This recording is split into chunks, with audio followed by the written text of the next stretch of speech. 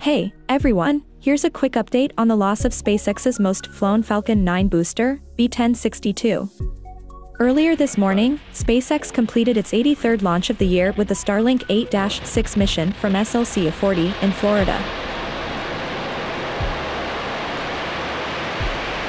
Notably, this mission featured Falcon 9 booster B-1062, which was SpaceX's most reflown booster, marking its record-setting 23rd flight.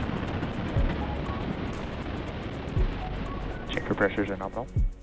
After a successful liftoff and stage separation, B-1062 was on its way back to Earth, targeting a routine landing on the drone ship, a shortfall of Gravitas, stationed in the Atlantic Ocean.